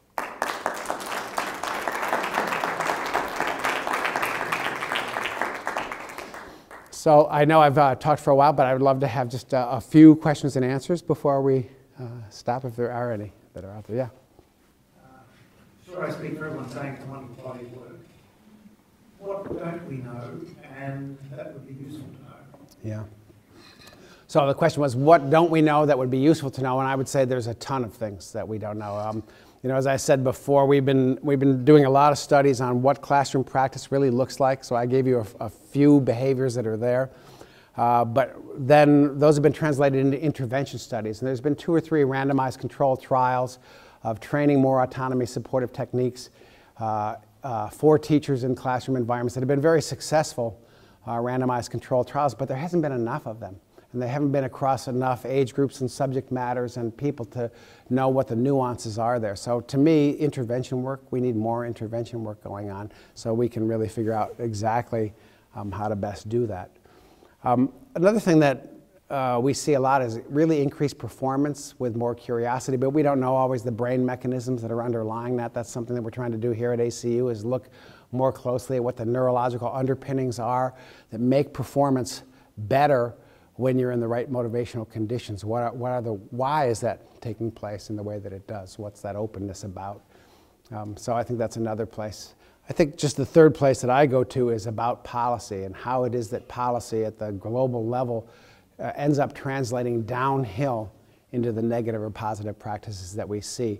Um, you know, for me here in Australia, that's a big interest of mine is how public policy is translating into pressures on superintendents, which is translating into pressures on principals, which is translating into bad classroom practice. I think this is really the area that we need to understand the most because we have to reverse that cycle. Um, so that's, those are some things. I don't know, but you could probably tell me what you think we need to, to know more of. So, other uh, questions or thoughts? Yeah. Hi. Um, very interesting. Very cool um, my question, I guess, is that uh, the focus here has been on how to like, motivate students and how uh, get them to more better engaged and so on. Has the inverse actually been considered, where if they if students are performing certain behaviour, have has a study been um, done where they've been given a reward, like an exclusive reward, and then it's been taken away to try and actually demotivate that? behavior. I was- Yeah, you you mean, so you, um, I, I forget the technical name for this, but this is where you start to lose rewards uh, when you don't behave uh, accordingly. I haven't seen that in the classroom setting, but I've seen it around weight loss. So it was a common technique for a brief time in weight loss where you would uh, you turn over some money, and then as you lost weight, you would either get that money back or you would fail to get it back. So uh, you would actually, in a way, be punished over time if you did. And it actually was very, very ineffective as a weight loss strategy. Um, it led to uh, big relapse rates when the program was over, um, and it was less effective even during program. So I haven't seen it done in classroom kind of settings. I, I you know, I, I suspect it's going to feel very controlling, uh, and therefore it's going to have a lot of these negative effects that uh, we've seen more directly with uh, contingent rewards. Um, yeah, Herb. There's a lot of talk about needing to reward good teaching. So reward uh, seems to have a real negative connotation from your theoretical perspective. How would you respond to uh, that sort of notion? I guess if it's rewarding in an informational sense, that, uh, that might work, but that's probably not what's meant. Yeah, no, that's not what's meant. And I think what's going to, ha- what would, ha- what has happened, whenever policymakers have said, "Oh, we're going to reward teachers for good teaching," what they mean is we're going to reward teachers for increased test scores. And when they do that, what they do is they drive the worst kind of classroom practice because what it does is it drives behavior to go toward any route to the end. We call this an outcome focused reward. So whenever you put high stakes behind any single outcome, what people do is they'll do what they need to do to get to that outcome, even if it's the wrong way to get there. And uh, so, where we've had any of that going on uh, in, uh, in education environments, we see the following things. And we, we both predicted and we found these things in literature reviews. Uh, we predicted, for instance, when that kind of policy got started in the US, that the first thing that would happen is teaching to the test. Because if I'm going to get rewarded for test outcomes, I'm not going to teach anything other than what I think is going to be on the test. So I narrow the curriculum. That also then means that my class is probably going to be less interesting and less engaging, and paradoxically might have a negative effect on the actual learning that goes on in there. But the natural response to the reward structure is narrow what you're doing. Um, it also encourages a lot of behaviors that we really don't want to reinforce, like cheating, like telling your, your students the answers to the things that you think will be on the test, like trying to get kids out of your school who are going to bring down your test scores, or all the population manipulation that we see going on between schools, not just in the United States, but here as well. It drives all of these behaviors once we kind of put a high stakes reward behind a single outcome like that. So there are ways in which we can make the teaching profession more professional and the rewards within it themselves more professional. That is, that you offer more opportunities, you offer more training things, you offer more uh, uh, um, growth related opportunities for teachers who are so engaged. There's, there's lots of, uh, I would call uh, profession relevant rewards that will not undermine and will not drive that bad practice. So the ones that I'm really afraid of are where we say "Oh, we're going to reward good teaching, and then we have the operational definition of good teaching being uh, bad behavior. Instead, if we were going to do that, then I, I certainly would want it done on a professional basis of people who over time have shown themselves to be good teachers over time to get the recognition they deserve from that. So, and that's different. That's not a controlling reward. That's a recognition for jobs well done. And I think we need more of that in the education profession rather than less, but not contingent rewards based on test outcomes. Yeah. Um, On one side, uh, it seems very promising because uh, no matter where I look at, I see potential for improvement, intervention at the teacher level, at the school level. But at the same time, there is on the other side a little bit of discouraging uh, to make a specific intervention because if I I work hard on an intervention on teacher, and there is the principal side that, that can actually push out. So Yeah. how can we look at the good common ground? or- Well, I mean, your first point is a, is a really big one, which is we, we're working, when we're dealing with schools, we're dealing with a system. And when the system's corrupt at one level, that tends to have corruptive influences on other levels. So I don't think we can get around that. But that doesn't also mean that at whatever individual level we're operating at, we can't do the best we can do for the people who are under us. And in SDT, we call this the uh, umbrella idea, which is that, you know, it may be raining on me. It might be my principal's a really controlling principal who's all focused on test scores, and it could be the superintendent is too, but I'm in my classroom. I want to put an umbrella up over my kids. I want to create a circumstance there where they have a nurturing environment, even when the pressures are on me. And one of the interesting things about it is it's likely if I create that kind of environment, I'm also going to have good test outcomes. It requires that faith that if I create the right environment in my classroom, people will be more engaged, they will learn more, and outcomes will be good. But what happens is in the atmosphere of fear, control, and pressure, I don't hold up the umbrella. I, I, I, will teach to the test. And then I have the disengaged students. I have the more behavior problems in my classroom. I don't get those outcomes, and I haven't protected my children. We say, hold the umbrella up. It's always raining out there. Whether you're a teacher, whether you're a principal, whether you're a superintendent, it's your job to put up the umbrella against the forces that are on you. And if you're a politician, God knows what we can do to hold up an umbrella over you. But um, you know, that's it has to be that we take charge of what's underneath us wherever we can do it. So I still think interventions work. Uh, when uh, we do interventions that are in a school within a district that might have a really controlling superintendent, that school improves. So it's not like you can't have movement within there, but I also wouldn't disagree with you that there's a whole system going on here. And that's what I wanted to show is that it's an irradiating effect that comes from up high all the way down into best practice in classrooms. And uh, we need to pay attention to that. It is a big policy issue.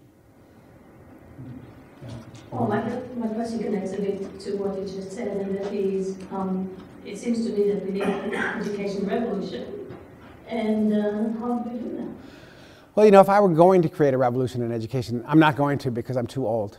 Um, but if I were going to do that, the thing is, is that there is a movement that says we, we need to have accountability. We do need to have responsibility. We do want to guarantee that there's high quality going on in our schools. How can we do that without all this pressure that's had this negative effects as it does? And the first thing I want to say is teachers need to become more professional themselves. They need their own professional organizations that also are, uh, in some ways, running quality control over themselves. So we have this in other professions. Uh, you know, I'm a psychotherapist. I don't have people coming around giving high stake tests to my clients and having a test score be the thing that predicts whether I'm good or not. But I do have boards that oversee the ethics. We do have an evidence-based practice idea that, uh, uh, you know, that, that uh, is in some ways very strongly supported by our professional organizations. The same is true in other professions like medicine.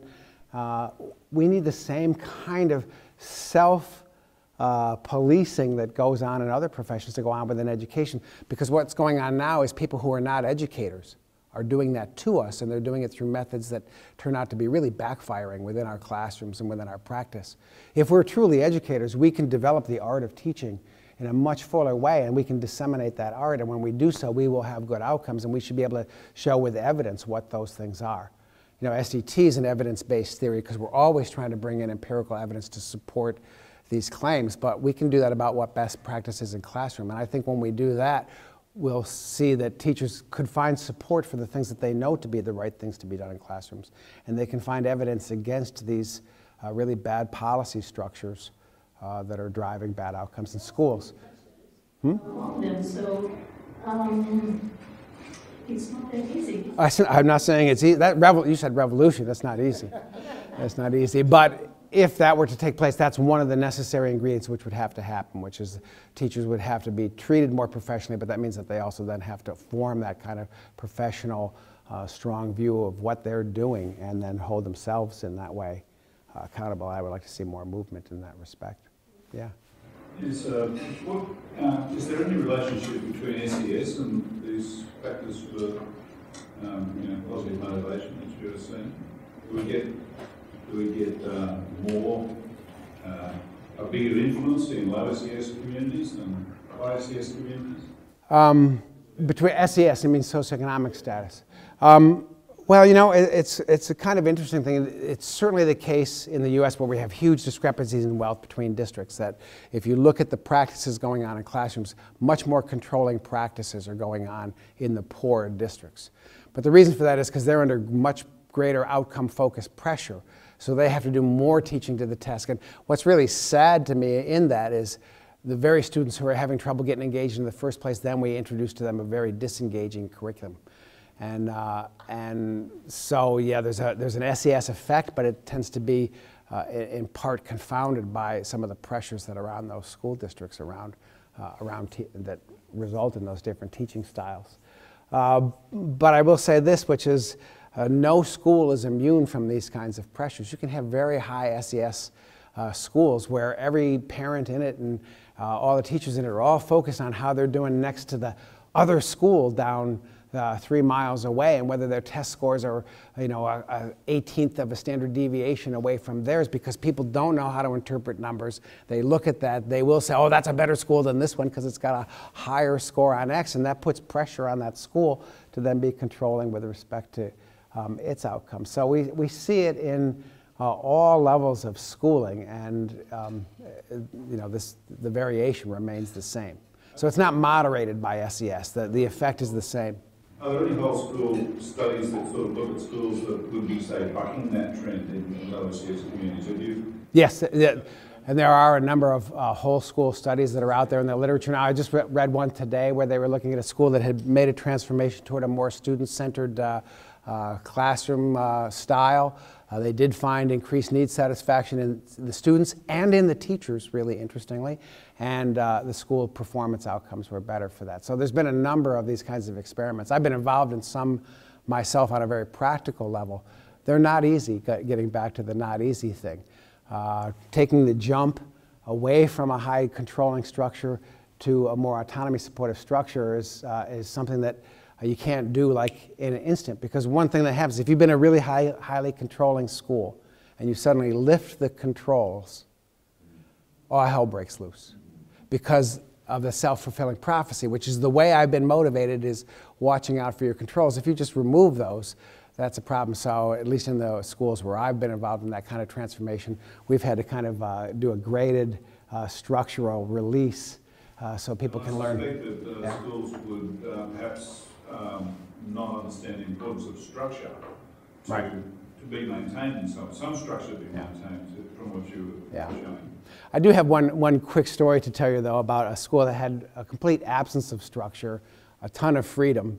Um, it was, I don't know if any of you here have known about Summerhill Schools, uh, A.S. Neill, an old experiment. Well, there was a school in Boston that was operating on the Summerhill idea, and they had an open school where they didn't require reading or math or anything in the students. They let them do whatever they wanted to do, basically, uh, for 12 years. Uh, now, it turns out that, you know, most students, after they sit around for a few years not reading and they're seeing other kids read, they want to read. They, they learn to read. Uh, they pick it up, they pick up those skills. So by the time most kids graduated, graduated from this high school, they were college eligible. Many of them went on to colleges, et cetera. So somebody came to uh, our uh, group at the University of Rochester to do a report on the 30-year follow-up from what happened to students who were in the school. And when they came to give us the report, they, the person who gave us the report was doing it in a kind of damning way. I think they wanted to tell us that we were wrong. And uh, so when she was presenting the data, she showed that students who had graduated from this school had no, they were not making any more money than comparable SES students who went to the other schools. They were not doing more, they weren't more satisfied with their current jobs. Uh, they were equal to the students who had been through the regular uh, school system. And she was saying, see, I, you know, we knew it didn't work. And I was like, so you mean to all that lining the kids up in the hall, all those tests, all that homework didn't show any advantages 30 years later? So, I mean, I just one of the things about this, we, we think all the structure is doing so much for us. And I think, you know, most of us can think back on some of the stuff that was really hard pressured into us now. And I can't even tell you the classes I took, let alone the content of a lot of that stuff. It didn't matter later in life. What matters is if you do a pickup, what will matter a lot more to our students, and certainly what I wanted from my children, is not that they knew every nuance of trigonometry or calculus when they left school, but rather they left school with a kind of confidence, a kind of desire to learn, a belief in themselves, a passion for wanting to know more about anything. That's the kind of stuff I'd like kids to leave school with. Uh, a lot of inner city kids who are trying to get into college prep level outcomes before they leave school. I'd be glad that they attended school for 12 years and found something passionate and interesting to engage during that time, because that would be a better predictor of them succeeding in life thereafter than a higher test score. I think we've got the wrong idea about what education's really about, and it's about nurturing people to grow up to be good citizens with the kind of skills, interests, and passions that allow us to be those things. And if we drive that out of students through our educational techniques, we're doing a disservice to all of them. So I, I do believe in high structure and I do believe in high autonomy support. So I think those are the most effective things. And I actually believe that we do have a curriculum that has a rationale sometimes. Not all of it, but some of it does. Uh, I think we could lean a lot less on curriculum, get a lot less focused on content, a lot more focused on process, and we would have better schools. Have you ever seen that episode of The Wire where it's about, you know, a, uh, an underprivileged Baltimore school where they want to get good results on the SAT so that that will improve funding. Yep. And so they reduce the curriculum down, Mhm. and because that uh, has a consequent effect on behaviour, they turn the heat right up Yeah. in winter so the kids are sort of docile. it's fabulous. You should see it. I wanted to send it to the Prime Minister when they were proposing the, uh, yes, all of the tests and the, the website. You can go and check out how well your school's doing against someone else. Yeah. Well, you know, to me, to me, if we were putting as much emphasis on measures of classroom climate as we were putting emphasis on test score outcomes, we'd be at least putting the pressure in the right place. Uh, but instead, we're putting the pressure on the wrong node, leads to more controlling behavior, and then has a backfiring effect. So, well, oh, I'll take the. Yeah. The thing about where you get buy-in. Um, the positive psychology, positive education movement has been pretty successful, but probably more so in private schools than in public schools.